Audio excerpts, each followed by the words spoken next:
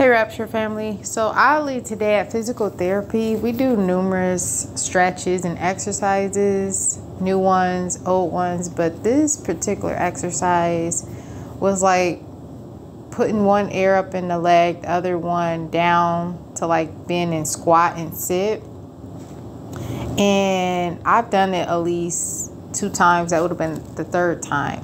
And oh my goodness, it didn't happen before, but it happened today. I just had rush of burning in my bladder, like like on fire.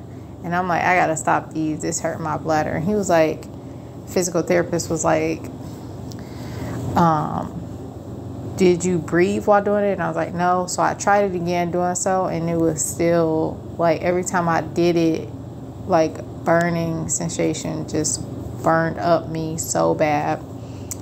Um, and I have had that experience once, only once before, with like um, a nurse giving me the wrong wipe.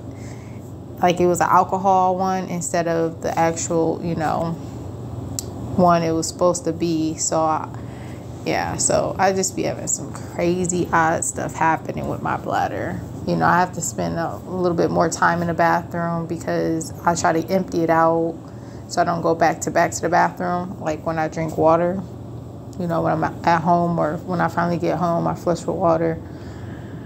I'm going to the doctor's tomorrow to make sure I don't have any infections, which I already did a little while ago and nothing, even though it felt like it. I've been watching what I eat with the interstitial cystitis, and it's just like, it's just a whole bunch of stuff that just don't make sense. But I'm going to try this try a detox like on Amazon. There's a lot of green liquids, powders, or actual drinks.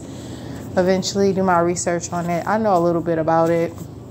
I know about Dr. Sebi, and he knew so much stuff. They took him out, you know, with cancer and mucus and people getting sick and all that stuff. And like running when it get nice out to try anything possible. I'm gonna be trying maybe another bladder pill um, since this last employer messed my bladder up. I haven't been the same since with overactive bladder.